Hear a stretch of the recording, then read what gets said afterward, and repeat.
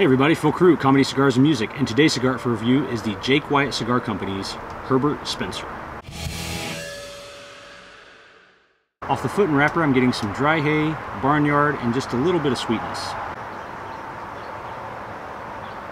Well, it looks really cool. Let's see how it tastes.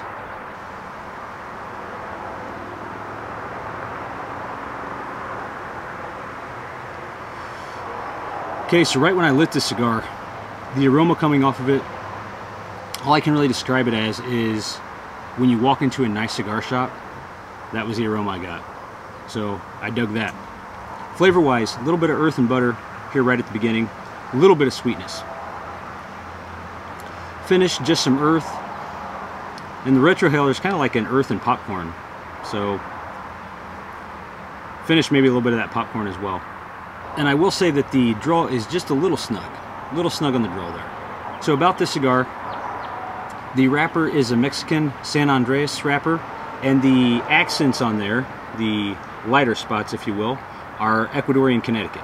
Binder, fillers, all from the Dominican Republic.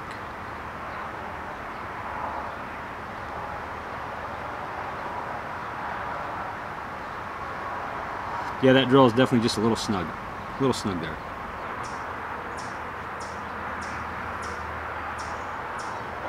All right, we are well into the first third, actually almost rounding off to the second third at this point.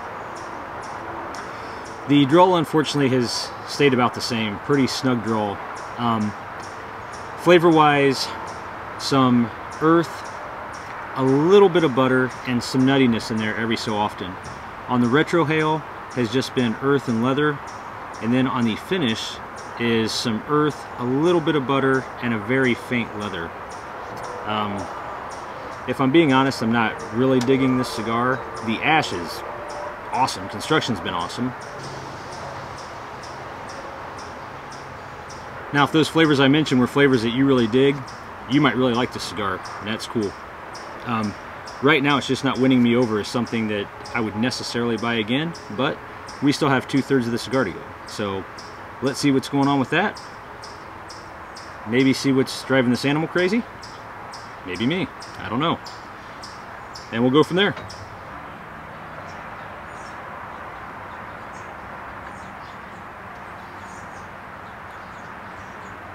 Okay, so well into the second third here.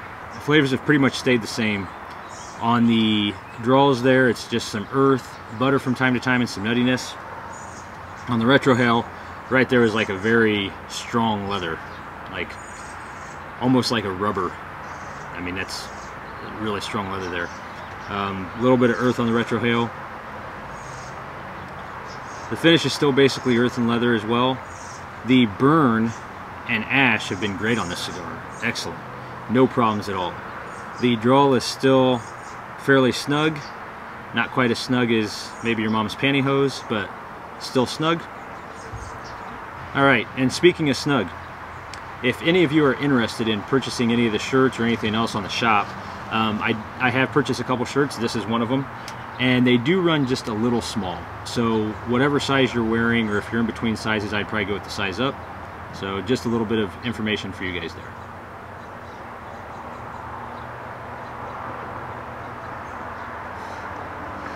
Man, I'm telling you,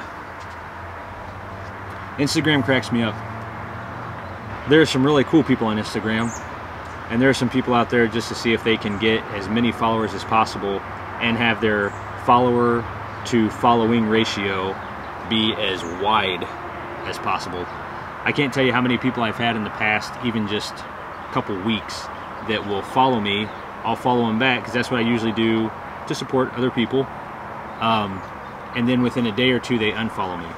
I had this one account that was starting a new venture so they followed me, and um, I followed them back. And within two days later, they had unfollowed me. And so I unfollowed them because I don't play that game. And within another day, they had followed me back. I followed them again, and they dropped me the next day again. So I won't be following them again. So if you happen to be watching this and you do that on Instagram, don't because it's not cool. And you look like a dillweed. As some of you know, some of you might not know, I'm a police officer, so as much as I try to stay um, clear of a lot of the negative energy out there on social media, it, it finds its way in. It does with almost everybody.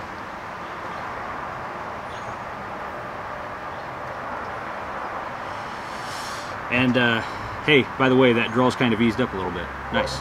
And I will say, whereas I don't want to get political here, just from my point of view, okay, it does get a little annoying to hear other people say how we should do our job and also how they think we do our job based off the behavior and acts of a couple people or maybe even a handful of people.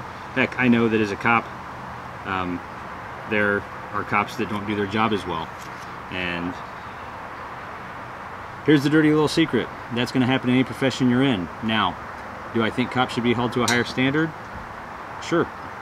Do I think that the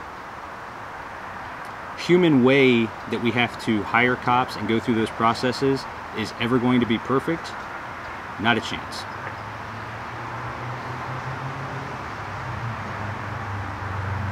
So that's my little rant. I know I'm going to have people that might be upset by that, and that's all right.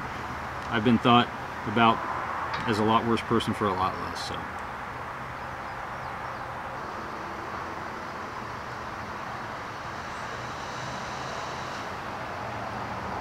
Okay, so we are finishing out the cigar here. I will say that um, like I think I mentioned just a little bit earlier, the draw has opened up a little bit, so that's been good. The flavors have kind of stepped it up just a little bit. There's still that earth in there. The nuttiness is completely gone. The butter's completely gone. But there has been this cinnamon and this sugary sweetness that have come in, and a little bit of uh, like a toasty component in there too. So that's been enjoyable. Retrohale has basically been earth, and that's kind of the leather I was getting on there too has kind of transitioned to a roasted coffee. That's been nice. Now, with that being said, the finish has been a little bit harsh. Um, still that earth in there, and that leather has stayed in there as well, but that leather is, that leather is harsh. I mean, it's, it's like a really deep leather. It's almost like a rubber on the finish. So that hasn't been what I would say is optimally enjoyable. Um, but hey, what are you gonna do? So, would I recommend this cigar? I think at the price point that this cigar is at, which it's it's not a cheap cigar.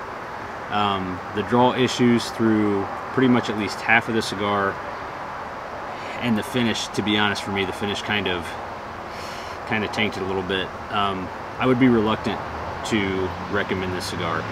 If the flavors that I mentioned were flavors that maybe you enjoy or you like, then you would have to make that decision on whether you want it. But just going off of my preference and what I enjoy in, in a cigar, I would not purchase this cigar again. Smoke time for this cigar came out to an hour and 16 minutes. As always, thanks for joining me. If you enjoyed this review, have enjoyed other videos, other reviews, please don't forget to like and subscribe. Please make sure to leave all your questions and comments below. I will get to them as they come along. Until next time, guys, be cool to each other, and I'll see you soon.